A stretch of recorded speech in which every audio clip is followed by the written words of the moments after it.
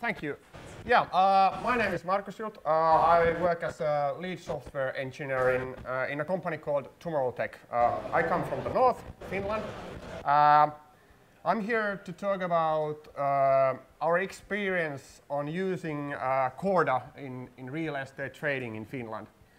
Um, and especially since this is only 15 minutes, uh, I'm going to focus on, on how we are doing data modeling and especially the privacy point of view.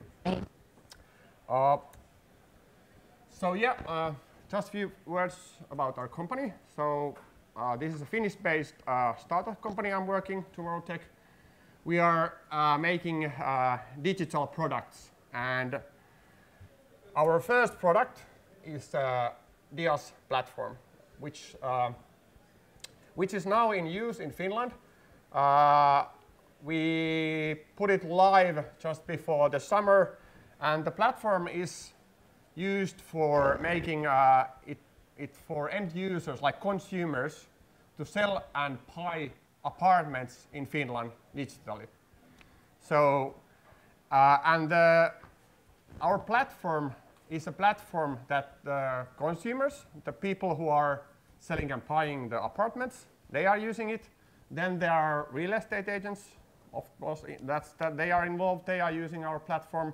And then, then the big part of this is, of course, that uh, typically, at least in Finland, most of the people, when they are buying apartments, they have to get a mortgage. So the banks are involved in this process, that there's always uh, mortgage from the one bank and, and, and so on. And also at the moment in Finland, um, the, what we are now doing, the actual ownership of the house is still, still in a paper format, usually in, in some bank's vault, and then it's transferred to another vault, vault during this process. Uh, uh, we are running this uh, uh as a Corda, private business network. We are currently having, uh, let's say, most of the major Finnish uh, banks are using this system, and also most of the big, big uh, real estate agents companies are, are already using the system. Also, also this, there are integrations to certain tax, uh, certain government offices like tax, tax administration. It's like there's like a transfer tax that you have to pay when you are uh, buy, buying an uh, apartment. The idea with the DIAS is that our platform, platform will take care of all of the government uh, registry things and all, the, all that kind of stuff. Uh, okay, so let's jump into how we have modeled this. Uh, in our case, uh, every bank has their own vault. So like every bank has their own Corda node. Uh, that's that's very important for for that all the like the bank relevant data is in, in, in, in their own, own storage. Then this is like now one of the design choices with the current version of, of Corda. Uh, initiators in this case, they, they are real estate agencies and construction companies. They, they will start the, the process. Uh, in that case, in Finland, it's typical that there are like hundreds, hundreds of small real estate agencies. So at the moment, it's not cost effective to run Corda node for all, all of them. So this is one of the design choices that, that we had to do. So we are now running, running uh, just one database for them, and then we are using, like, let's put traditional ways for securing the access to data. Um, our data model, we, this is actually just a small part of it. So that's how we model, model the data. So overall, uh, in our case, there's usually three parties involved in, in all the transaction. There is this initiator, the real estate agent. Then there is a buyer bank and seller bank. So, so those are the core participants. And, uh, and of course, as you all know, in Corda, it's, it's possible to uh, just to store the data to those bank ledgers that are involved in this transaction. So that's, that's normal stuff. Uh, but for data privacy reasons, we wanted to go even further. So uh, you can see, for example, there on, on the bottom, like there is this realtor bank account, It's an example of, of data that actually the seller bank is, uh, in, in our process, is paying the realtor commission. And it's not up to buyer bank to even know that this exists. So we actually have modeled the data in that way when we store it. So we can like even like field level say that this field goes to only this bank ledger. And that's how this is implemented is uh, using multiple uh, Kotlin uh, linear states. So this uh, shared state, this is, this is a, a linear state that has uh, three participant, participants, uh, the buyer bank, seller bank, and the initiator. And then we have like multiple different combinations. For example, if there's certain data that should be only in the seller bank and, and initiator ledger, then, then we have a separate uh, linear state for that data. And that uh, linear state has only two participants.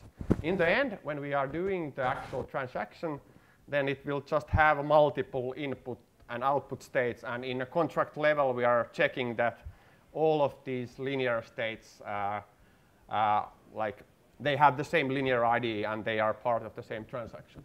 But this, is, this makes it possible to, to even in, in field level say what goes into what ledger in, in a transaction. Uh, for data evolution, uh, we use implicit upgrades. Um, so as I said, like we've been running this in production now a few months, and already, even though we plan our data ahead a lot, still, still in some cases we have to be able to change the data or add, add data there. And therefore, we are using the Corda implicit upgrade mechanism.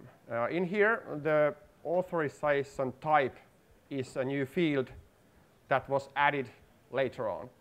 And and therefore, uh, we, we, we like to keep our data model very clean. So we try to avoid using uh, nullable fields.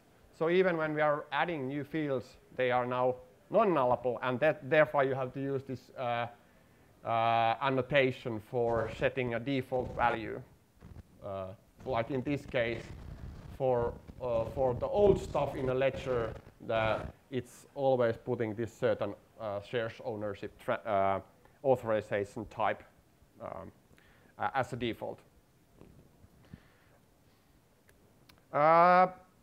then this is also one data privacy thing, and for us, like the GDPR is very important. So, like, uh, the law states that we can uh, have all the data related to the consumer who is buying. Anyway, we have to know who is buying and what have you. That's like very important uh, uh, um, information. But for audit logs, we also like to collect data like who, who was the bank clerk who actually, for example, approve this transaction and that kind of stuff. And we don't want to store like the person's name or anything into our ledger. Instead, with banks, we are using these surrogate IDs.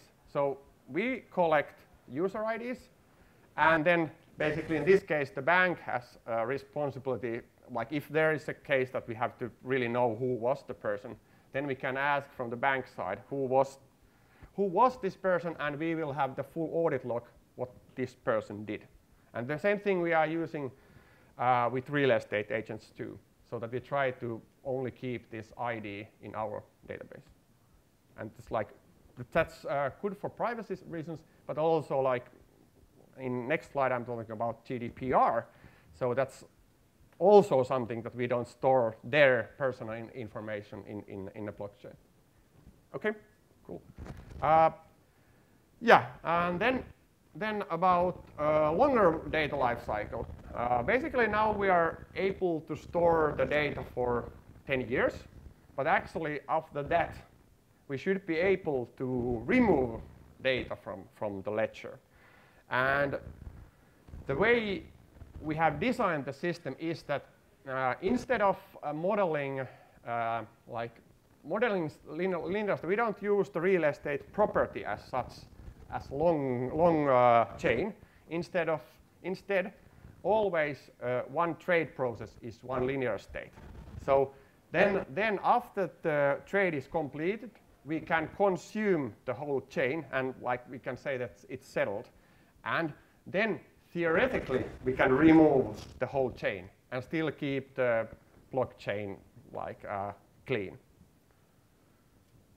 And what, what I'm saying theoretically, this is the last thing. Uh, now, what actually uh, is going to happen then, actually, um, there will be a talk today about Vault Recycler, which is a tool that ac actually R3 is building for actually archiving consumed states, which then perfectly fits to our data model that we, we are anyway consuming them, then there will be a tool for actually archiving uh, those stuff.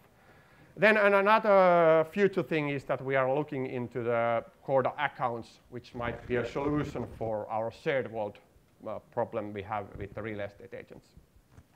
Okay. So. There's no app the, oh God, that freaks me out when that happens. Um, there's no questions by the app at the moment, but if anybody's got any questions, small room, you can shout. Hands up. Okay. I don't, I can't give uh, numbers uh, at the moment. Of course, we are in early stages. Overall, uh, I can say that, that, that in Finland, 70,000 70, apartments are sell, like sold per year. So if we are, we manage to sell everything then every year, then it's 70,000 per year. So moderate volumes, let's put it that way. But like we are ramping up now and let's see.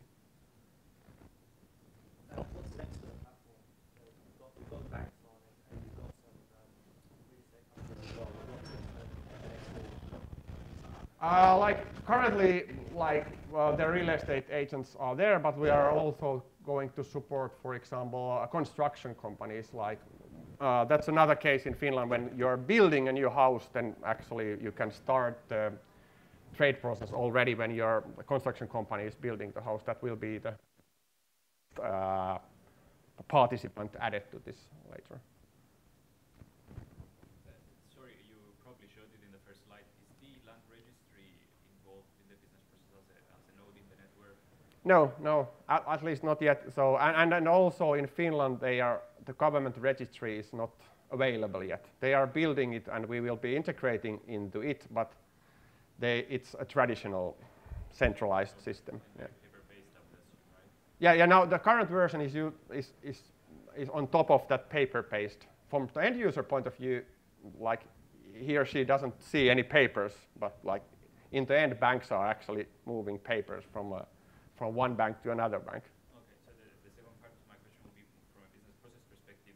Uh, the network, have you, uh, have you kind of proved that there is a, an optimization in the whole process? So for example, if you have mortgages in a property or if you have encumbrances and other blocks on a property from a land registry perspective, um, do you guys work with them closely? Yeah, yeah, yeah, yeah, we are work working, yeah. So it's like, like what, what we are, like in business sense, like we are trying to improve the process. And, and like I didn't talk about the earlier, earlier in like earlier process with, without our software, you actually, all the people have to go together to bank at the same time and uh, sign the papers. And it, it usually might take like one month that before you get uh, this meeting because you have to get all the people in the same room. So this like should speed up the process a lot.